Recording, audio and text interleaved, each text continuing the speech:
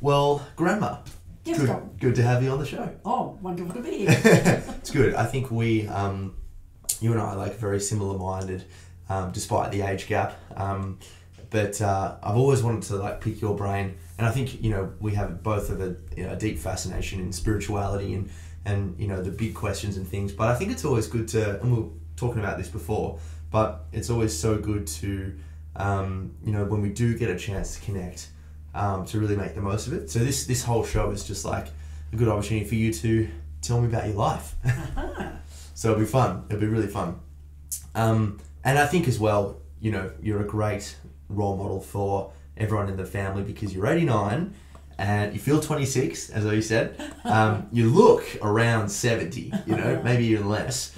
And um, I just think you have an incredible approach to life, you know, in terms of happiness, um, you know, the right nutrition, um, you know, training the mind and, you know, social outings and things like that. So I'm very, very excited to pick your brain.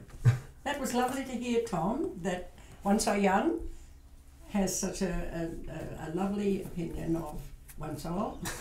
well, it, it's inspiring because I think that, um, you know, like I was saying before, you know, at the end of life, it, I think what we all want to do is be able to look back on life and go, I, I really made the most of it there. I don't have many regrets. The regrets that I do have, I made, I turned them around and made them into positives, and you know, I've, I really um, squeezed the lemon, as they say. And I think you have and are doing that. So As you've yeah. mentioned that, quite often I've reflected on this. How you behave today, tomorrow, that's history. Mm. So it's so important to concentrate on your behaviour at every moment of every day, isn't it? Mm. Yeah. But it's interesting, yeah. Like it's so interesting to me. You are just like full of wisdom, right? but you, but you had all this wisdom at a time when it wasn't going around. So like, I don't classify myself as overly, you know, incredible or anything yet because I, I've just been born in an age where information is so easily accessible. You know, I can just jump on Google and, and type in because I know how to use a computer, obviously, and just type in, you know, how to find meaning or what is happiness, and then just hours of podcasts and videos on YouTube and books to read. Like I just I can get the information. But you were telling me was it 18 when you when you started only eating fruits and vegetables?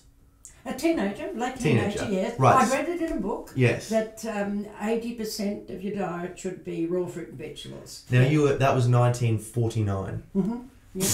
See, this is that's what's getting crazy to me, Yeah, you know. And then the fact that you just stuck with that. yeah. What what do you think was that, that was the fact I was thinking of it. I read it and took notice. I didn't just forget it and think, oh, that's interesting and just go on. I read it, took notice, and then I was in a position to do it.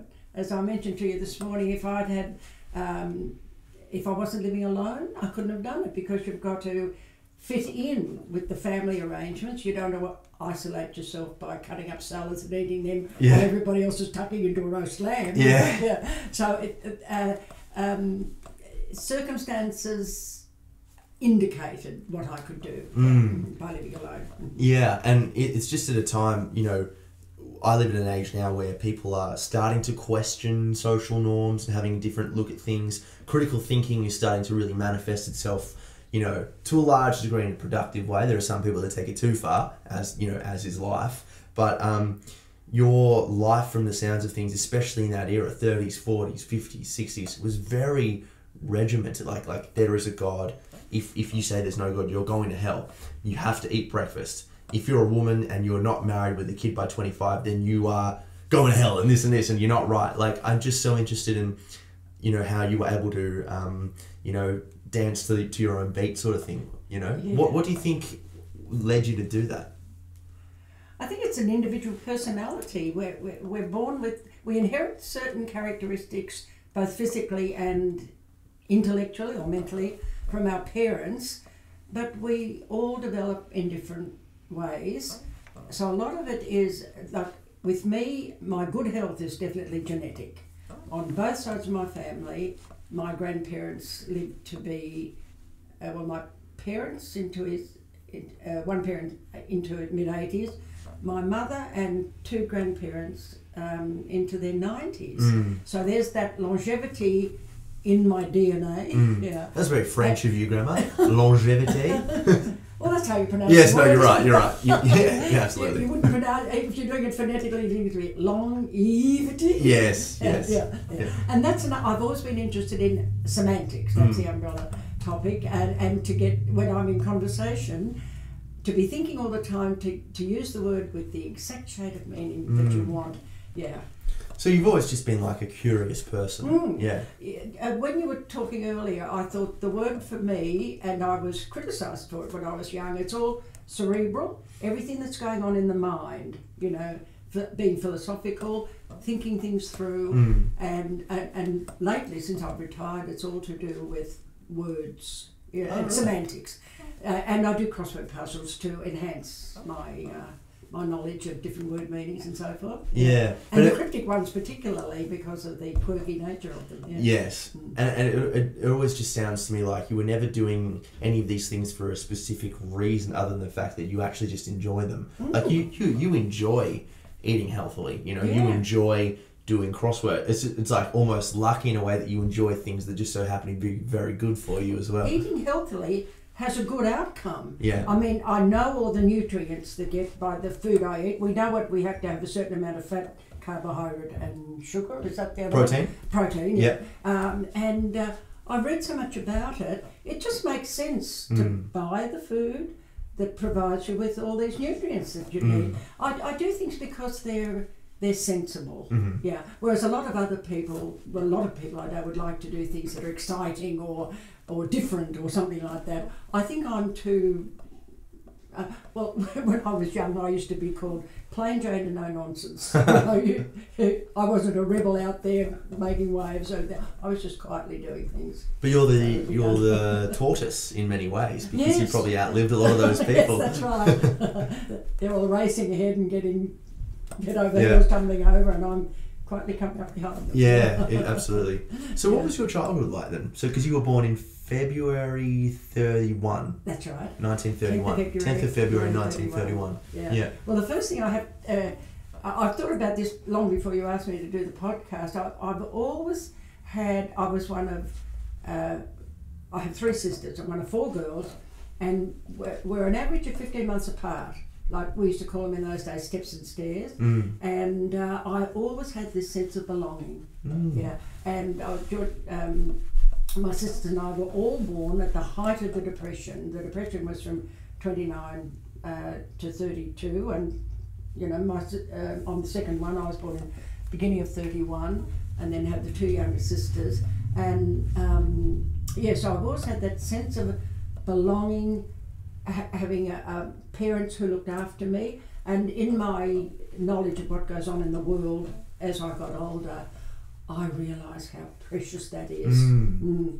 To, to know, there's a word for it that I can't think of now, to know where you fit in Yeah. in the world. Mhm. Well, it sounds And like. with loving parents, Mm. because these days there are a lot of dysfunctional families. Mhm. Yeah, I think is the word you're looking for just having a home. Yes, Yeah. yes. In every sense of the word. A sense. warm, cosy nest Yeah. where you belong. Mm. And with um, nowadays, it's um, the the nuclear family. You know, um, I think it's um, one point five children or something on average. But there were lots Oh, of yeah. families in my in my day. Yes. Yeah. Yes. And of course, being Catholic, Very true. Very true. very large family. Yes, it would be very un-Catholic to not have a large Yeah, family. exactly. Yeah, Yeah. yeah. Wow, it's just incredible. You know, I mean, I've only read about Yes. the depression and Yeah. here you are like living through it Yes. because Australia um, kind of went through it uh, after the US because it hit. I'm not even too sure about what happened. No, well, the depression began in uh, November 29, I think, with the stock market crash. Yes, that's Yeah, right. yeah, That's right. Yeah. Well, I, I'm forgetting. Uh, I used to be, that used to reel off my tongue, you know, I knew Yeah. every fact and every figure.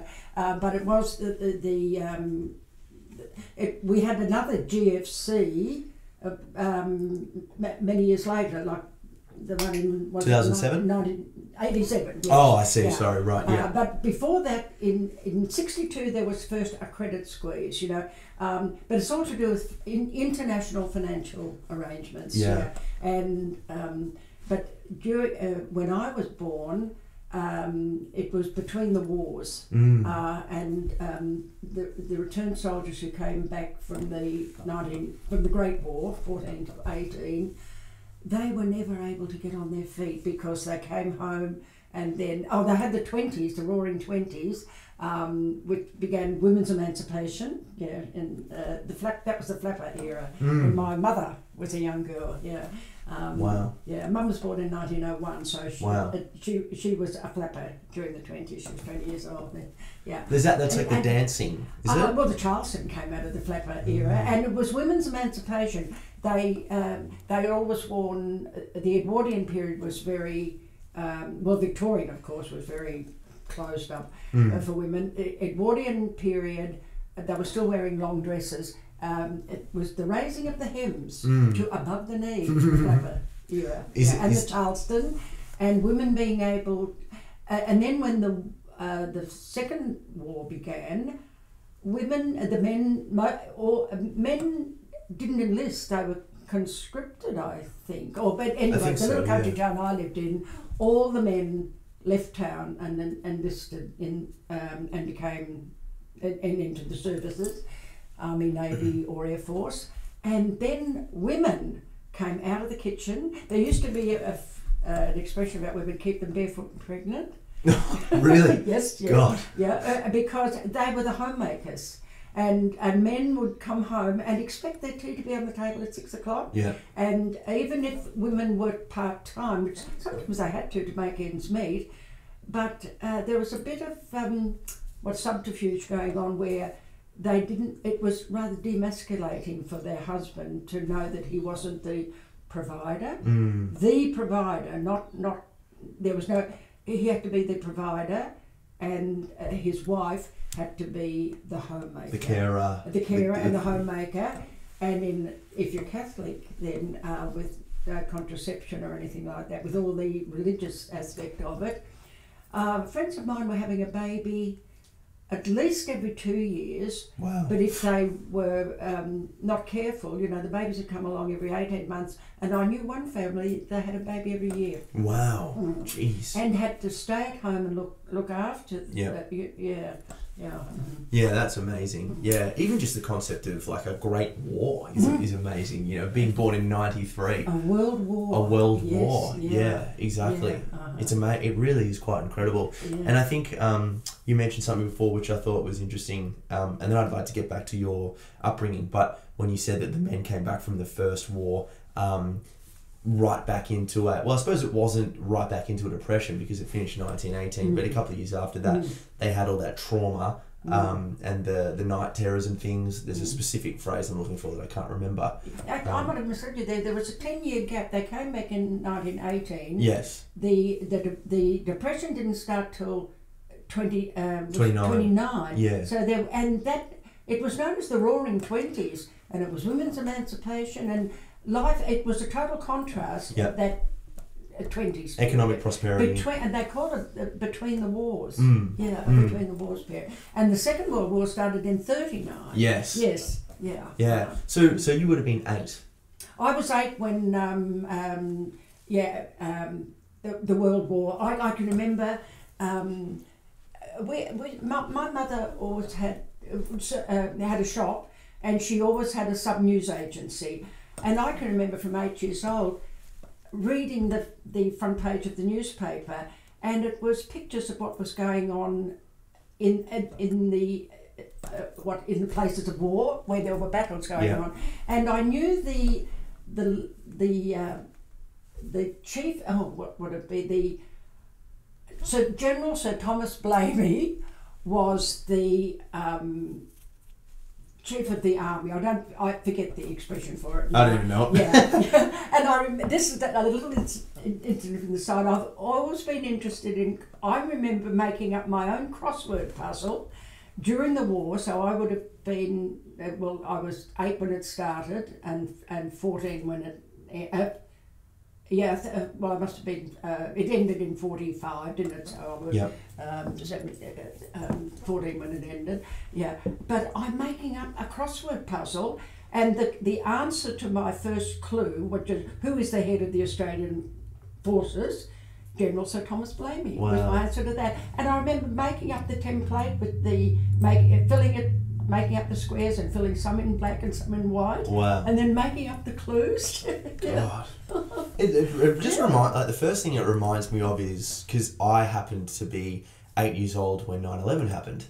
So I remember like what I remember specifically When about happened? 9-11. 9/11. Yeah. September 11, yeah. yeah. So I remember um, something that mum and I talk about all the time, Mm-hmm. uh, obviously your daughter, um, is just watching her watching the TV because she didn't understand, she couldn't get it. And my world was my mum at the time. Yes. My, you know, um, seeing her trying to understand that planes can go into buildings was kind of what I remember. So just remember me think of you like in a way that, you know, your crossword puzzle is a way to you try to conceptualize the, uh, you know, global scenario is the same way that I'm doing that with mum. You know, Yeah. what was it like at the time? Like, was there a lot of nerves and It, it when the war broke? Um, well, I didn't know. We were here in Australia, particularly, and as a school girl, at, school, we were isolated Mm. from Europe and from America. And because you grew up in the Northern Territory, No, I grew up in. I, I was born in a little country town in New South Wales, New South Wales. Woodstock, and um, then when I was six, we moved to another little country town called Stockinbingal. oh yes, Um, and north of Woodstock is a, uh, another little country town called Cowra. And I remember I was baptised in Cowra. Wow. My baptismal certificate, I was known as baptised there. And Cowra was where there was a breakout, uh, there was a con- um, prisoner of war camp there. Oh. I think they were Japanese prisoners, and there was the Cowra breakout at one stage. I, I, I should have, if, if I wanted to talk about this, I should Yeah. have opened up on the history, but I, I didn't think I would be. Yeah, but um, uh, yeah, from, from age six, I, I lived in this little country town of Stockinbingal and went to school there. And I remember when uh, I was eight years old when war broke out, and I can remember I used to be I used to read the front pages of the newspapers, and always on the front page of the newspaper were these maps too of uh, what, what was going on in the front line. And I remember saying to my mother once, "Mum, when there's not a war on." What is on the front page of the newspaper? Wow. And I remember her saying, "Oh, maybe the occasional murder." really, like that. God, Yeah. that's a that's a pretty good Yeah. response. But it, it proves to me that I was interested in in reading, in gathering information. As I said to you this morning, I regard myself as an information junkie. Mm. I just seek information everywhere. you you are one of the most uh, informative individuals I think I've ever met. Mm. Your ability to just talk about any topic, someone could bring up, God, over the years anything, and you'll have something to say that's credible and poignant, and that's unbelievable. Well, to do to to reach that point, you have to have it. Something has to have sparked your interest. You've got to read up on it. You've got to decide which side you're on. You've got to form an opinion. So when the time comes to discuss it, it's got to be based on a well-informed, well-considered opinion. I think it's a waste of everybody's time if you just make a remark, and then if somebody asks you a question, and that's the end of the conversation because you haven't got anything to back up Yeah. your opinion. Yeah. Well, that sort of behaviour doesn't make sense to me, Mm. and I can't be bothered wasting time by doing things by half measures. I think I think that is a bit of advice that uh, lots of people in this day and age should probably hear, because most most because you can just form you can just you know put forward your opinion so easily in this day and age that no one really thinks about anything anymore, and they just go, oh well, I don't think of this. So every opinion out there is just kind of like, especially on the Twitter sphere, you know, the Twitter sphere, Twitter, I, I've heard the word, but I re- I don't I don't speak that language. right? I mean, I, it's even hard, until you sent me that wonderful Facebook message which you did on my birthday. I didn't speak Facebook. Yeah. I'm, I'm, It's I'm a weird not- language. te- technology does defeat me. Yeah. Because it's not reading, it's not singing, and it's not going to the movies. They're my three main interests, you know. Yeah. And um, I'm not totally backward with the technology. I've got my mobile. I Mm. can do text messages. You can do Skype. I can do phone calls. I can do. Well, I can look at Skype. Mm. Uh, Yes.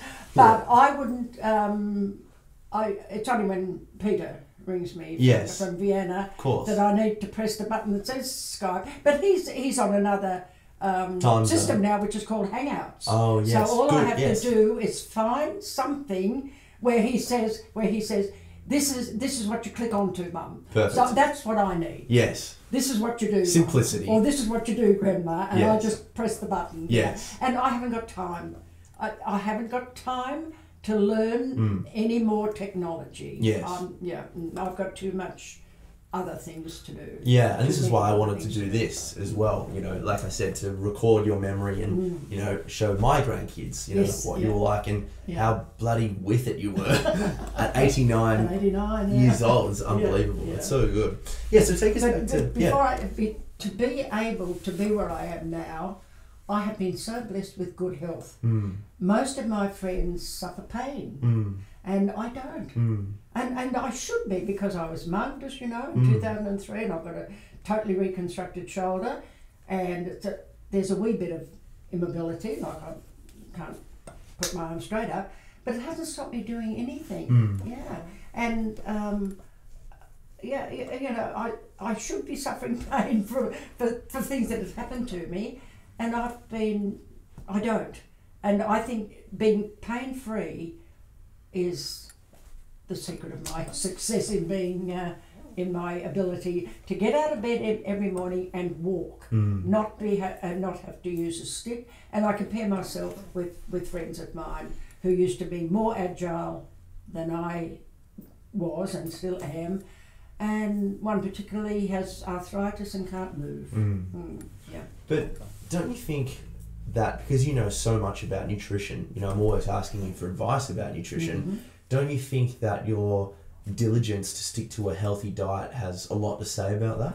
I, I think it, there's a, uh, that's an aspect of it, but I think the main one is genetics. Have I Okay. touched on that yet? Yeah, Like, yeah. um, uh, uh, coming from a healthy stock. Yeah.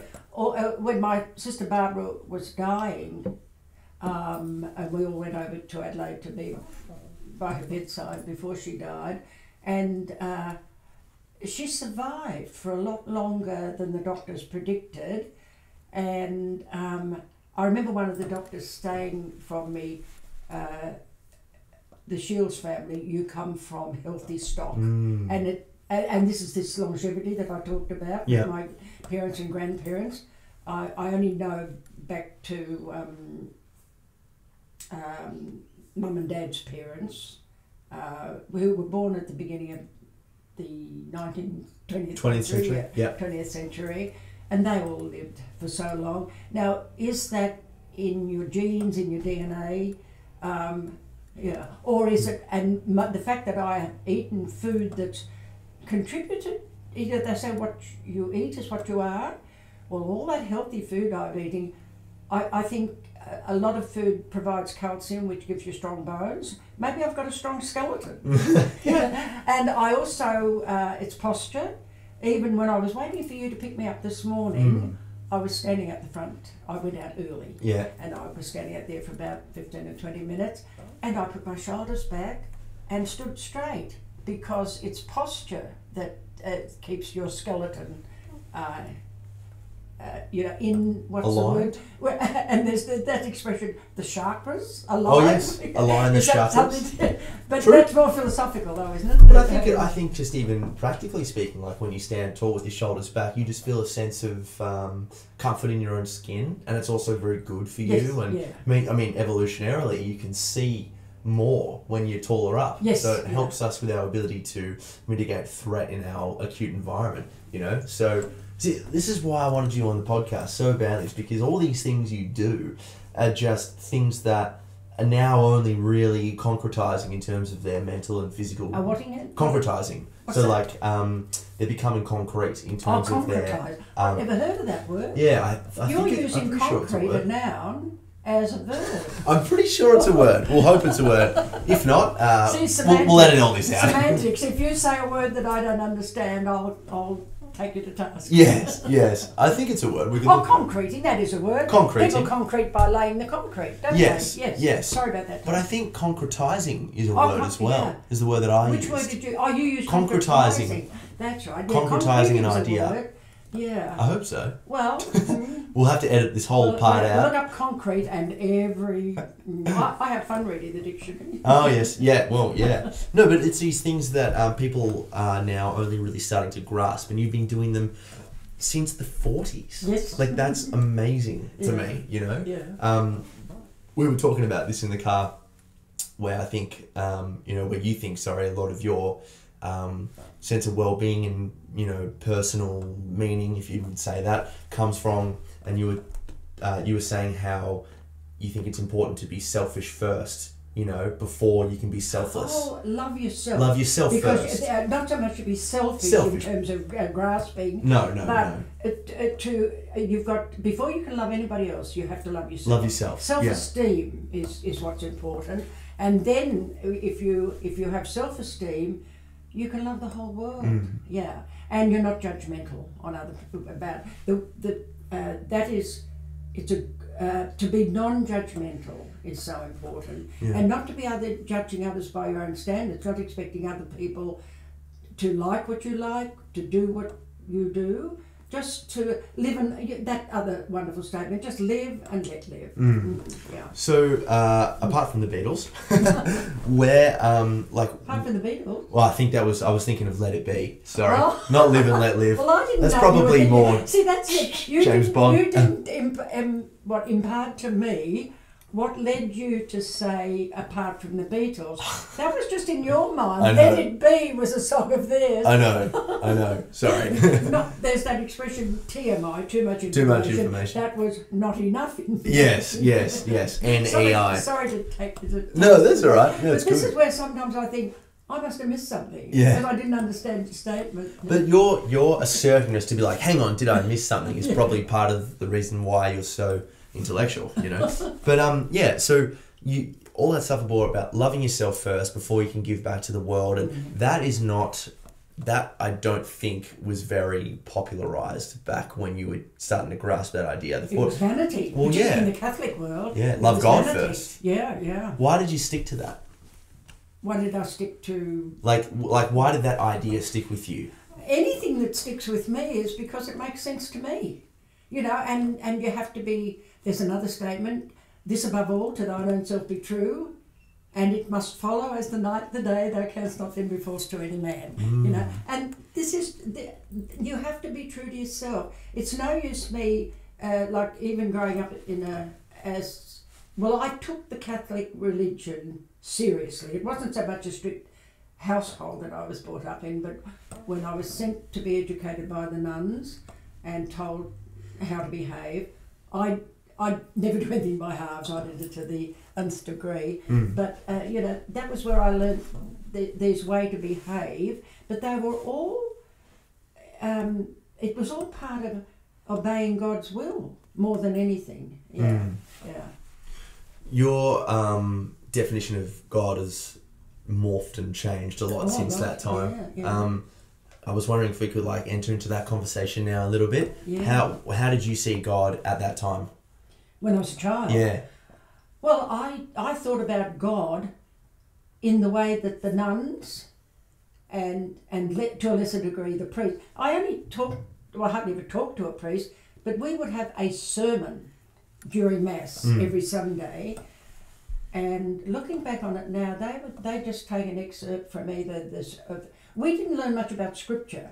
We just had an as, uh, an excerpt from the New Test, the New Testament, Mm. and as I got, I, I didn't dare to, in, in my mind, to criticise a priest or a nun because we were taught to, um, you know, obey them and respect them. Uh, but as I got older, I, I thought, you know, they're just, they've got their sermons written down and they'll just r- read the same thing periodically, Mm. depending on the, the um, period in the church, like and all the different periods that we went through. I know that Advent leads up in, into Christmas, doesn't it? Yeah. I stopped going to church um, some years ago, but I, uh, and having faith in, in God, I, I read all I can of people whom I respect and what they write about spirituality.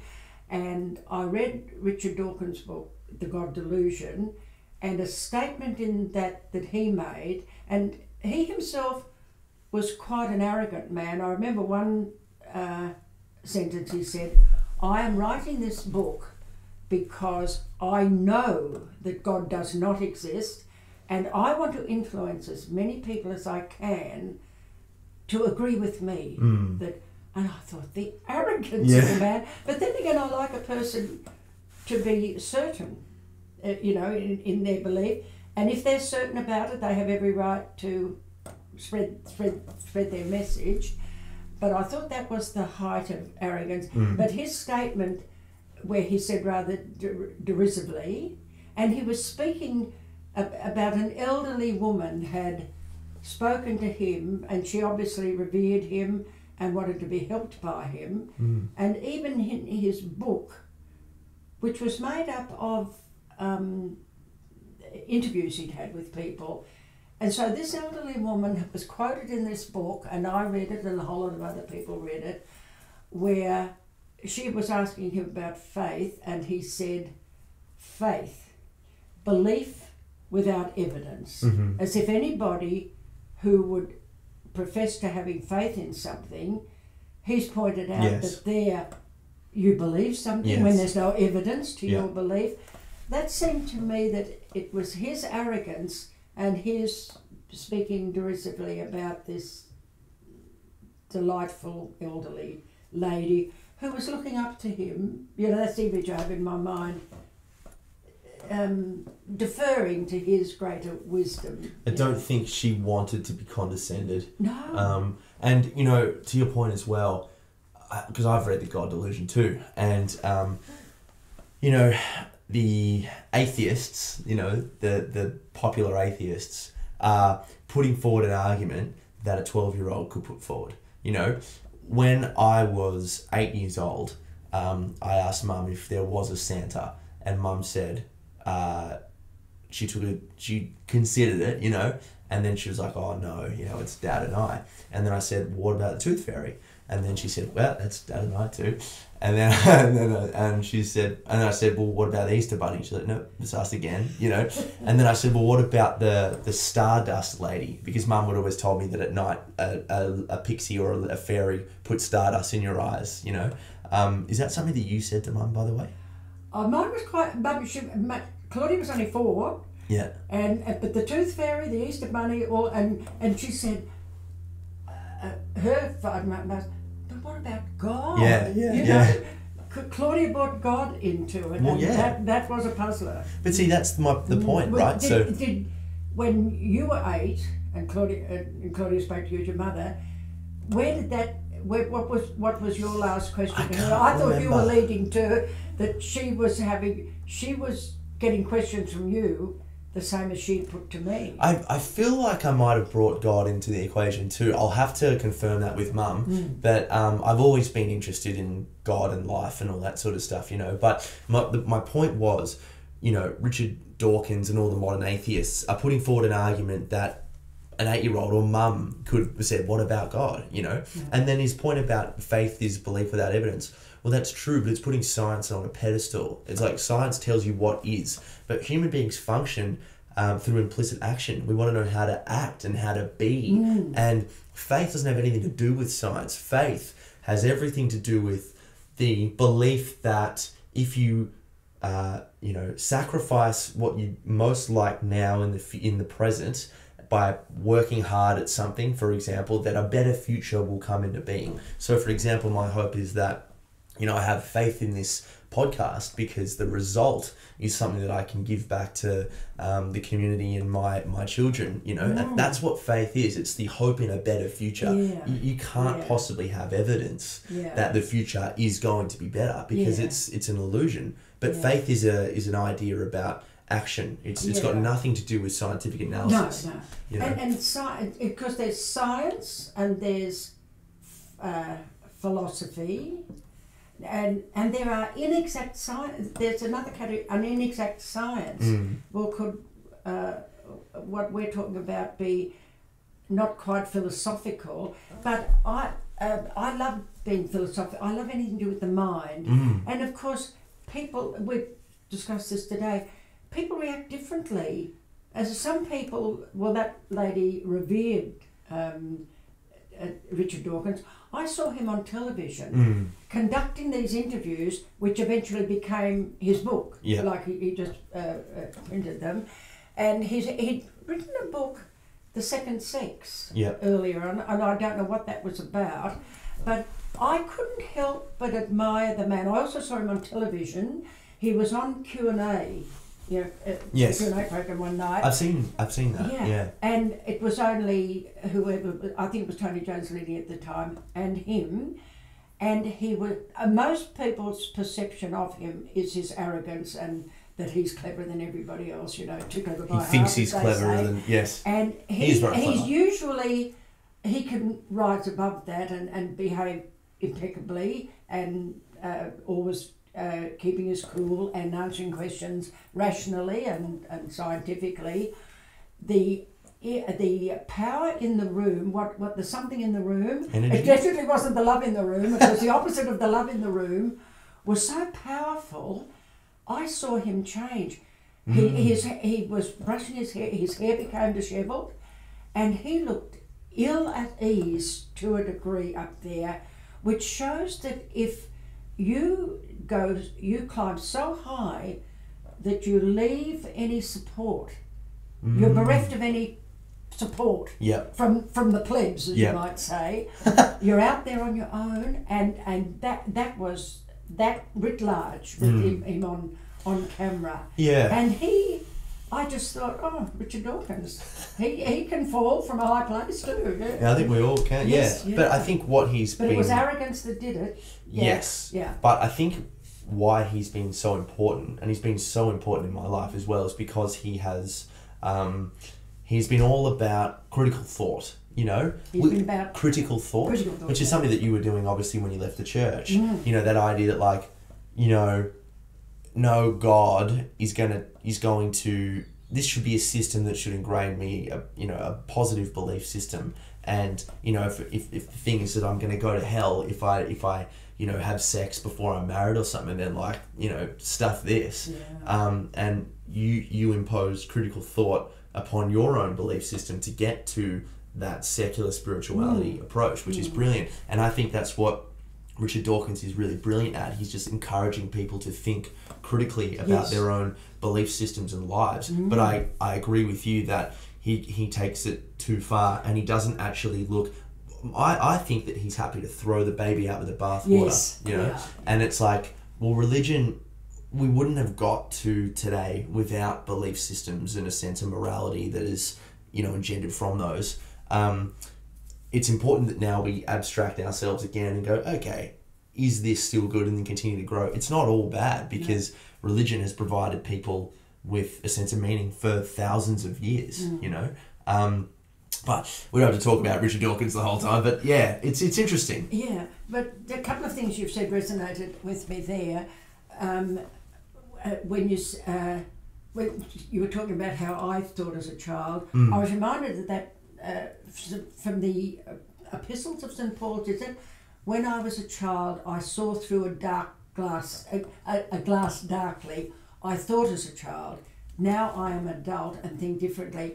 That's as when I was a child, I was indoctrinated, Yep. sent to a Catholic school, uh, and I had I was told at four years old that if I disobeyed my parents or if I obeyed any of disobeyed any of the Ten Commandments, and there were venial sins and mortal sins, and uh, like uh, thou shalt not kill. Is that the sixth commandment?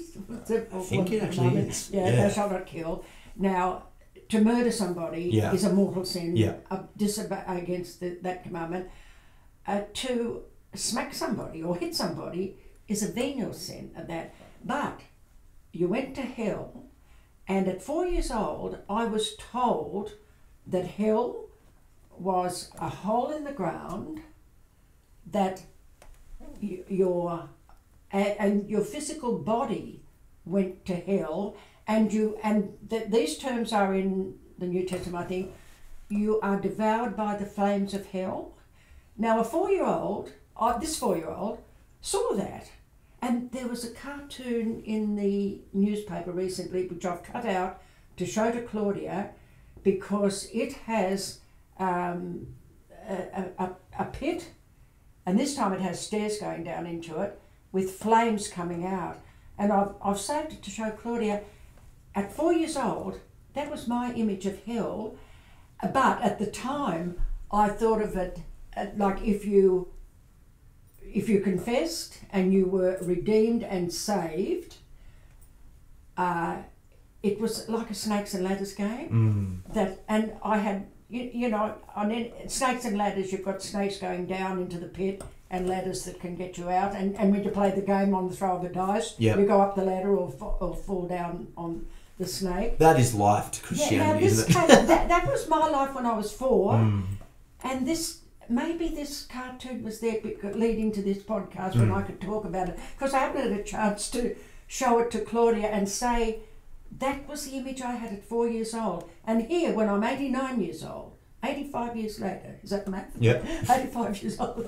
Um, it's you know that's still that, and, and this was a cartoonist, and I don't know what he was talking about, uh, what the cartoon was talking about, but um, There goes the microphone. oh, That's all right. Bring that back in a bit. off the head. Yes, we're off the air. um, no, but you're exactly right. I mean, that that's just clear psychological abuse. Yeah. To say that to a four-year-old um, is literal abuse, in my Mm. opinion. You know. But everybody did it, and, and it was in society as well as in, in, in the church. Mm. Uh, but as I told you earlier too, that was one. If if I, I when Claudia and Peter were born, I thought if they're going to believe in God, which is what it's all about, you either believe that God exists or you don't. Um, and if they were going to be believers, it would be direct revelation from God. Mm. I was not going to influence them in any way at all. Mm. Mm. In- That's brilliant. because I objected to. And but I didn't blame mum and dad. Mum and dad did the right thing. They had uh, they were Catholics, and it was a commandment of the church. We have the Ten Commandments of God and the Six Commandments of the church. Catholic parents send their children to Catholic schools. Now that that was the church playing power games. Yeah. That, that they get They needed the money. yeah, yeah. and then the young girls uh, who were brought up as a Catholic, and when I was 14, and I, being a good Catholic girl, I'd go to Mass and Communion every morning, and the local parish priest noticed that, so he told me I had a vocation to be a nun.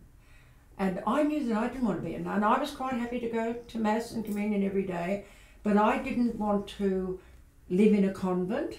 And there were three, pardon me if I'm rabbiting on. No, not at all. I love it. The, uh, but these are things that I'm remembering about my attitudes when I was young. Um, I, I knew there were three vows you take as a nun poverty, chastity, and obedience. Obedience. I knew even, uh, I was 17 when all this was going on. Um, poverty, you're not poor because you know where your next meal's coming from. Chastity, there are no men around you, and, Yeah. and uh, there are no books to read or anything like that. Everything is anything that would bring on impure thoughts, Yes. it's uh, would be there. But for me to be obedient for the sake of obedience was ridiculous. Mm. Like if, um, and, and it was always Reverend Mother. And we, we were obedient, and in our case, it was Reverend Mother Winifred. She was a, a lovely lady. I thought she was so old. She was, she was about 40. you know. but they were all dressed in these habits, which they're, they're the, the dresses and the cloaks and the and that white, the wimple, that's Yeah, yeah. that white collar, and every, and they had to have their hair shaved off in when oh, I Oh, was wow. young, but still wear everything. It, it was almost like the Muslims with just the eyes and the mouth. Yes, um, yes. and everything else covered. Uh, but Wow, um, I, wow. um, uh, Reverend Mother, when she was only 40 at the time, her young niece came to the school and her name was, um, at, the, the, uh, her name was Frances, Mm. um, this little girl that came to school, and she became a particular, I took, she was in a class younger than me and I, w- it was a sort of a buddy system, I was asked to look look after her, you know, and I remember she had the same, Mother Winifred, her, her name was Frances too. That's a lot of odd information. Yeah, no, that's good. totally unnecessary. It's Yeah. fascinating, but it's just fascinating. But like you know that how how um, you know even like if you saw someone living like that today, like just given the society how it's progressed, it's like Yeah. that's just bizarre, you know. And yet I'm talking to someone who lived that experience, you know. Because I yeah I wanted to get back to the um, the initial question, which was how has your idea of God and spirituality changed as you've gotten older? Uh, well, it was so. I was so affected by the brainwashing, the indoctrination, and my personality. If there's a rule, I obey it, and I find it easy Mm. uh, to do that. I don't have that rebel nature. You know, I I find it easy to fit in, uh, be second in command. Like my life as a secretary. Yeah. I never wanted to be the boss. I wanted to be indispensable to the boss. You know, I was always a very, very good secretary. Uh, your Grandpa. your grandfather. Yes, yes. Uh, I was his secretary, and he said he, I was the best secretary he had. Yeah. I he ever had, and he was definitely the best boss I ever had. You know, we were both very good, good, at, good at our jobs at least. Yeah, yeah. Didn't make much of a go of the marriage, but Yeah. uh, we were good at our jobs. I often say to Siobhan that I'm, um, you know, I'm, I think I'm the best secretary she's ever had. I don't say that. But, but but you you complement each other. Yeah, It's for just sure. What you're saying, yes. yeah, Well, and just just careful you yes, foot there, Grandma, I'll- with I'll that one. cross the other knee. Yeah, no, there we go. Turn the other cheek, cross the other knee. Across the other knee. yeah. I'm not comfortable. If, like if I sit like that, Yeah, I just feel uncomfortable. I, or, I, I, Yep. Yeah. And you know another stupid, silly statement that I used to hear from the nuns: "Don't cross your knees. It makes Our Lady blush." what does that mean? That's yeah. It means that uh, to you, for you to cross your knee, Our Lady, the Virgin Mary. That did you know that Our La- that the Our Virgin Lady Mary of- was referred to our, as Yes. Our Lady? yes, Yeah. as in Our Lady There was Fatima. our Lord, Jesus Christ was our Lord, and the Mother of Christ was Our Lady. Mm. Now, these are terms that just rolled off my tongue Yeah. since four years old when I went to school. Yeah. Um, and this is the reason why Claudia and Peter were not subjected to that. Um, if uh, uh, if that um, they did, I had they were baptised because children have to be christened Of course, and yeah. and, uh, and I was still going to mass then, but I was it, like the Catholic Church had so many sins. Well, that's the hypocrisy. contraception was a sin. You you weren't supposed to stop having a child. If you got pregnant, and you, and you had to have it aborted, the child aborted, that was a sin. Mm. Uh, You couldn't Yeah. win. I know. Well, I, I was still a good Catholic and I wanted a nuptial mass uh, to be married to Fred. But I knew that when I went to mass and, and communion at the nuptial mass, that from then on I was going to have to practice abortion because I'd had cancer and that, that pregnancy might flare up the cancer. I knew that I was going to commit every sin in the book Yeah. what they what the church regarded as sins, what to me was common sense. So I, after my nuptial mass when I was married to Fred, I I became a non-Catholic. I didn't go. I didn't take the children to church, and I didn't go to church myself for twenty years. Mm. And it was only when Claudia and Peter wanted to be confirmed that they began to work in the church in in uh, in various ways. Peter used to sing in the choir, and and they were coming to church with me, just because. Uh, well, this must have been after the twenty years, uh, but but um, I've forgotten the time frames now. But uh, um, it was Claudia and, uh, and Peter were confirmed, but I stayed away from the church for 20 years because I knew that, uh, oh, I know, Pope John the 23rd came in in 19, in the 60s, So the when Second Claudia was Vatican- born, the Second Vatican Council, and all of those rules that I Yeah. lived with were out the window. And I thought, this is a Catholic church that I can belong to, yeah. And I, uh, yeah, and I became a, a pillar of one of the parishes in South Yarra. Oh, wow. I became the collector, a collector, and I ended up down at the Priory every Monday morning for 19 years, from 1985 to 2004 when I left um, uh, South Yarra, going there, counting the money and take it down to the bank. And I did that every Monday morning for 19 years and joined any fellowship group at the Catholic Church. Father John Barry, who died only recently, I went to his funeral last year. Uh, he used to rely on me if he needed any to help him in his pastoral work because he knew I had plenty of time. I retired by this time, Mm. and uh, even if people were new to the parish, he'd like a parishioner to go and just welcome them, have a cup of tea with them, uh, tell them all about what goes on at the parish. And he would say, Josie, he'd bring me and ask if I could go and visit them.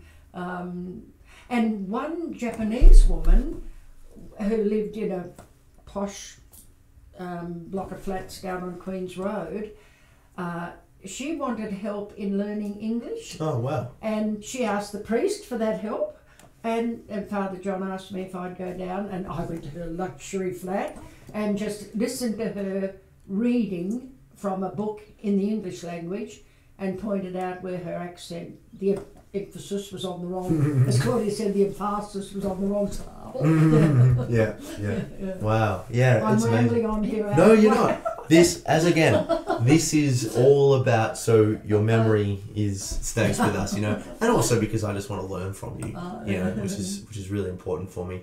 Um, and you were mentioning before you, um, and then the last topic before we move on from um, God, I suppose, but um, you and I have obviously discussed at length spirituality and philosophy, and we probably need to do that a lot more, you know. Um, but um, you kind of take more of a secular look now, you know, A look? a secular look Secular, Yeah, yes, definitely. was upon spirituality. Um, you still pray and, and all that sort of stuff, but it sounds to me like it's almost more of a a contemplation or like a meditation, perhaps. Yeah.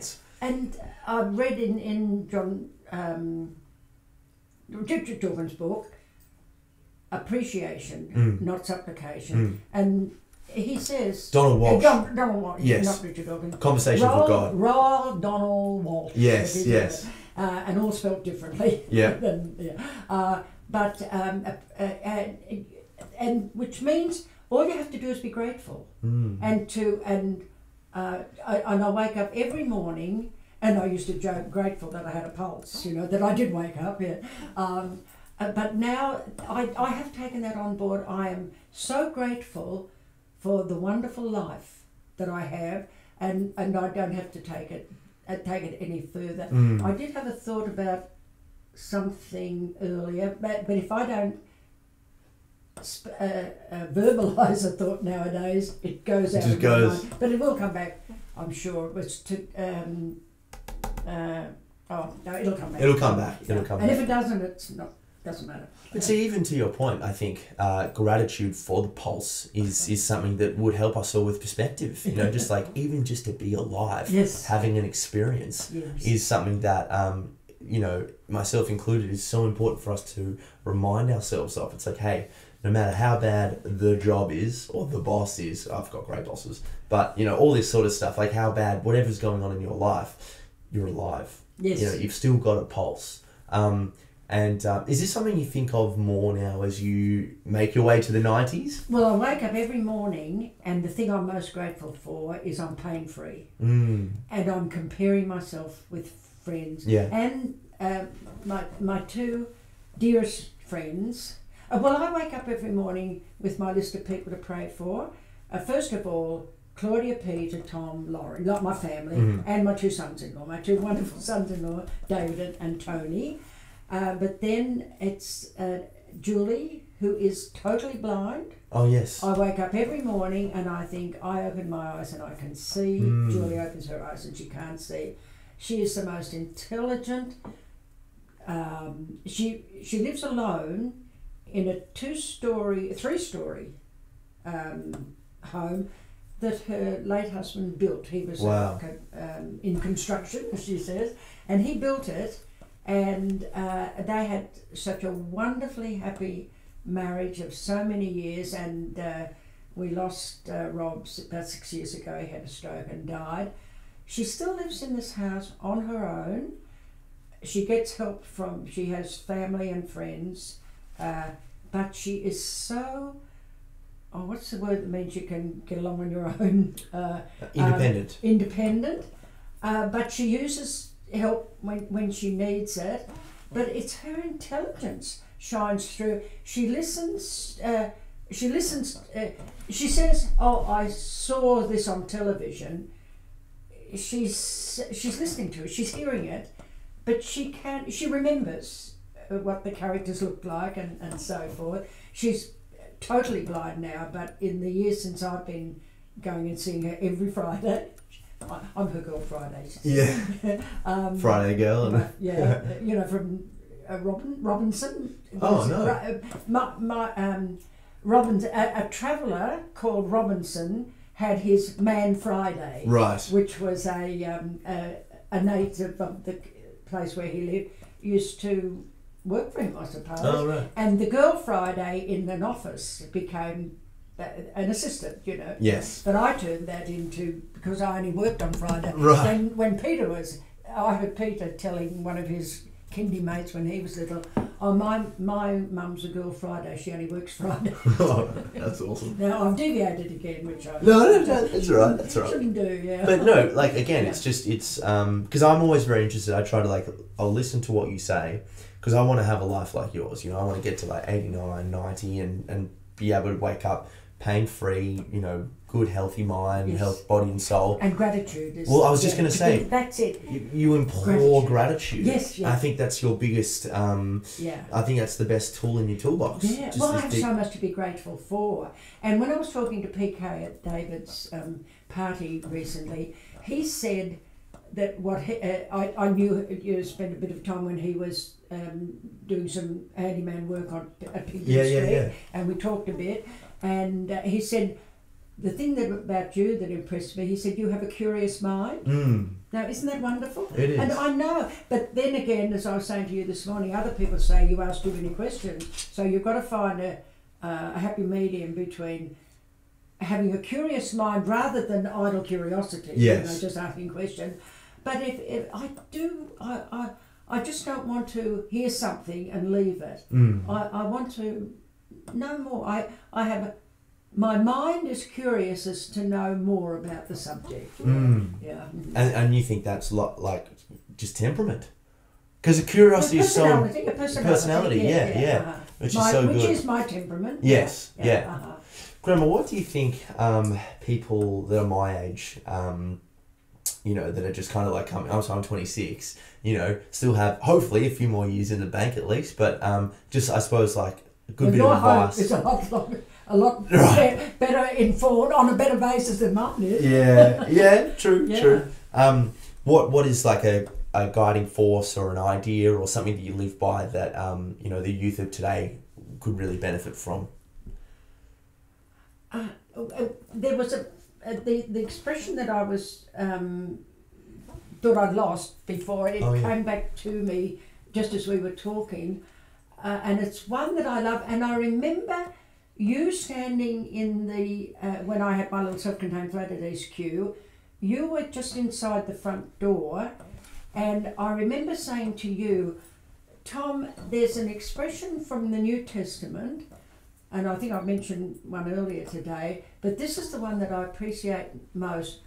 Christ said, Love one another as I have loved you. I think that's a maxim to live by. Mm. Yeah. Mm. And and and because uh, uh, before I was mentioning love as self self love and self esteem, maybe that was another. Uh, and I've forgotten now what I said about that. But this is the one you asked me when you were a teenager, and I have this image of you standing in in in in, in the hallway just inside my front door, and uh, you said to me, you asked me. Um, what, what's my favourite saying from the gospel? It was when we were talking about spiritual matters, yeah. And uh, Christ, uh, and as Christians, we follow in Christ's footsteps. And that, that's how I think of religion now.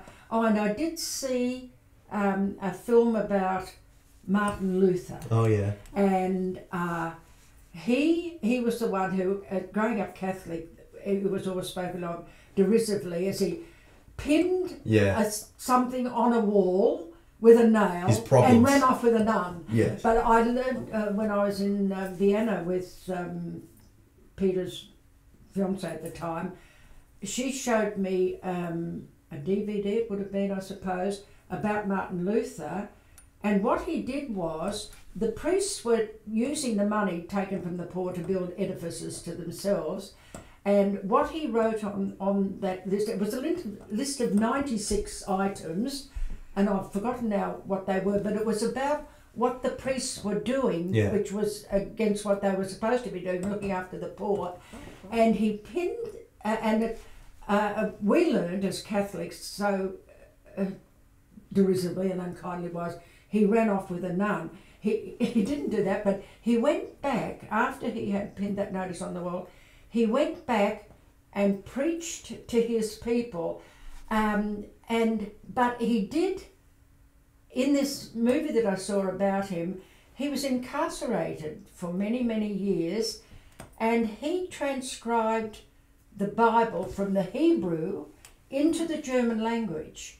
And in this movie, one of the young seminarians, when he was released from jail, he went up to him and thanked him and said, You have given us the Bible, you have translated it into our language so we could read it. I learned such a lot about Martin Luther in that movie. I, I want to, I'm going to Google that and watch it again because he was the one who went back and bec- and um, fo- uh, uh, um, he was the one that I think of when Christ said, "Love one another as I have loved you." Mm. That's what Martin Luther preached. Mm. Yeah, It's I think such a I've lost simple. some continuity there, but uh, no, but it's such it- a simple idea. About, don't preach to people; just love one another. Mm. Yeah. Mm.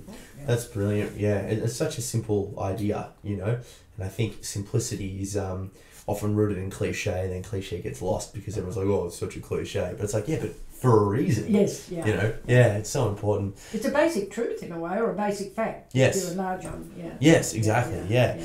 Um, do you have any? Uh, so do you? Because you're still very social. Still, uh, now you're no longer the president of the book club, are you? Is that what you were called, Oh, the uh, president? My book club. Well, I've been in the book club for 54 years. Yes. Probably was a month old when it started. Two books a month. There, uh, yeah, that's the one. Amazing. book- There's, there's, that's, there's no presidents in that. Right. I'm one of three people who were there at the beginning. Yeah, Francis and Patricia and I. Um, we were uh, we were there at the beginning, and um, yes, we were. Well, I try to read two books a month, but uh, uh, quite if you didn't read them all, sometimes you'd only be able to read half of them. Sometimes you couldn't get the book. But uh, over the years, in when I was working full time, uh, then I could read till two o'clock in the morning and still get up bright-eyed and bushy-tailed and go to work. Bushy. Nowadays, at about uh, half past ten, I will, if I'm reading a book, I just go to sleep. But these days, uh, I also, I'm up, as well as doing the crosswords in the pa I read two newspapers. Yeah. And I, uh, some people say, you read the Herald Sun, that trash. Yeah. well, it's got information in it that I'm interested in True. absorbing in the same way as the Age. And Two I, sides. I do the, the, the crossword in the Age, the, the synonyms, the normal synonyms in the Age and the Herald Sun. But I also do the cryptic one in the Herald Sun because it's a little bit easier than the one in the Age. If I did the one in the Age as well, I wouldn't have time to do anything else but crossword puzzle. But every evening and again in the morning if I've got time, that takes up so much of my. But see, that I'm learning new words. That's semantics. all the time. Concretize. Yeah, yeah, and also too, I'm because of this, I'm never bored. Mm. Yeah, you've Mm. always got something to keep your mind occupied. Yeah. Do you have anything else that you like to do in life? Like, do you have goals that you Going wanna- out and having lunch, going Oh, out and having fun. Well, we can do that, we going can out and having fun. Yeah, yeah, Yeah. yeah. But um, yeah, I try to keep a balance between um, seriousness and lightheartedness. Uh, but the main thing is, I keep getting back to it. I'm so lucky to belong to a loving family and to be pain free. Mm. And I'm comparing myself with my friends, uh, all of that. And also to late, uh, um, because of my age, a whole lot of people, of my contemporaries are dying Mm. or becoming incapacitated in some way. I have yet to have, um, ma- like the thought of losing Claudia, uh, that would be, I don't think I could ever get over it. Mm. I haven't lost, I haven't had that great tragedy yet. And so many of my friends have. Mm. I've been saved from oh, I've been what's the word? I haven't yet had to experience the terrible grief of losing a child. Uh, and it was a natural course of events, me losing my parents, Mm. and my all both my parents and my grandparents lived to an old age, Mm. you know. So uh, there's been no great tragedy in my life, and I think uh, when I wake up every morning um, with this prayer of gratitude and going through my list of people to think about, because and two friends, Tina and Mandy, two of my best friends, and with my best friends, they have this element of spirituality. We can discuss those inner convictions, those personal matters, whereas a lot of people, you, you know, that say religion and politics, Yeah. discuss it all. Well, with both Tina and, and Mandy, but I don't like to categorise friends into best friends. Of course, of course. But these, there's the longevity there. I've known them both for longer than most of my other friends. But I'm also in so many clubs, and there's a, a core group emerges from every club I'm in where we meet and have lunch. And as far as I'm concerned, we have fun together Mm. because having fun is so important. To be light-hearted and to be um, uh, just to not to be bogged down feeling sad. You, you you've got to try and lift yourself out of it. But then again, I haven't had that tragedy, which I know would weigh me down. You Mm. know, Mm, yeah. But you're, yeah, you, you do have such an optimistic take on life, which I think is uh, few and far between. an and- Aquarian? Aquarians are supposed to be. If you take any notice of, oh, sorry, I interrupted. No. I talked over you there. The uh, you know the star signs. Yeah. And anybody who puts much credence in them, you know, what? How, how many people are? Seven billion people in the world. Seven and a half, I think. Seven and a half Twelve signs of the zodiac, Yeah. and you, you know we're supposed to fit in there. Yeah. But what they say about um, Aquarians, they're, they're optimistic. I've got a mug that somebody gave me with an Aboriginal um, illustration on it, and they say about us idealistic, eccentric. we are the weirdos. yeah. Uh, and then the eagle that soars where others cannot. Now I love that, which means true. we, we rise above things and, and try and have an overview of things. And to me, Aquarians are mostly uh, they love the whole world, but they don't want people. They're loners, basically. The independent value independence. Now here am I saying if you put any credence in star signs, I Well, know everything about Aquarius. You are. Don't ask me about any of the other. Oh, Capricorns, I know because Fred and Claudia both in in uh, in January. January. Um, they're the hedonists, but the uh, uh, Capricornians and my two are my two. Fred was Claudia is prepared to work hard for any of the good things of life. Mm. You know, they don't expect anything to be served up on them on Mm. a plate. Yeah, the Claudia's so like Fred. Oh, I think she inherited she inherited looks from him, Yeah. and uh, um, you know, I, in the way she behaves, her her reaction to things, she's her father all over again. Yeah. All yeah. the good parts. Yes. Yeah, yes, yeah, absolutely. Yeah. mm. That's awesome. Yeah. Well, Grandma, I think what I've taken from this conversation is just like uh, a deep sense of gratitude, spirituality to the degree that you feel comfortable in yourself and you're open to cr- thinking critically. Um, you know, eating for nutrition, good body, keeping the mind active, um, crossword puzzles, constant reading and being curious. And um, this is like the five tips from my grandma on how to live a long, happy life. Um, having fun and having fun with friends Yes. and having fun with how you live life. And I think it's it's amazing to me how like simple they are. You know, but you have you you've got yourself to eighty nine and you are in no way, shape, or form ready to stop. And um, you know, these are things that people my age could could really benefit to hear from because they're so entrenched um, in like working and getting to the next level and all these things, and you've just been able to kind of navigate through all the ups and downs, cancer included, and um, and But I survived it. survived it. Yeah, Yeah. exactly. Great Yeah, survivor. Yeah, ex- absolutely. The mugging, and I And the mugging. it. Yes. Absolutely. And the broken marriage. And the broken and marriage. survived that, and it didn't impact on the children. Yeah, yeah. Yes. Yeah, well, yeah, Yes. all of these Yeah. things. Yeah. Um, that is incredibly inspiring, and I, I would have killed myself um, time and time again if I hadn't had the opportunity to talk to you, and obviously I love you very much. You're an incredible inspiration, um, a real, a real, a real friend as well because. You know, you've helped me um, explore my spirituality more than anyone in the family. I think, really, just our conversations over the years. Um, you've read my writing, which has been awesome, and uh, I just love having you as a grandma. Mm. Thank you, Tom. That, that lovely remarks. Mm. Yeah. With the your book, you remember it was the punctuation. I, I, I spent most You helped me the most with the punctuation. Yeah. Yes. I'm a stickler for grammatical um, and and the proper use of punctuation. Yeah. yeah. Grandma, I just wanted to uh, finish the conversation Mm. with one little thing. You touched on it before in terms of the love um, one another as I have loved you. But if there was um, maybe if it, maybe it's something different, or maybe you want to say that again, that's fine. But if there was some lasting advice, you know, um, that you would embark upon the world uh, based on the way you've lived your life, uh, what would it be? Did I mention this before? Look to your own behaviour and have no expectations of other people. Mm, Don't be judgmental, but behave well. mm, and don't be judgmental and don't expect anything of other people in uh, i um in, in um, i remember when i first formed this idea in my mind uh, don't don't expect people to agree with you on subjects uh, be prepared for argument or debate is a better word and uh, uh, don't expect people to like you because Mm. people just um, will look um, they make up their mind that they don't like somebody based on observation or whatever.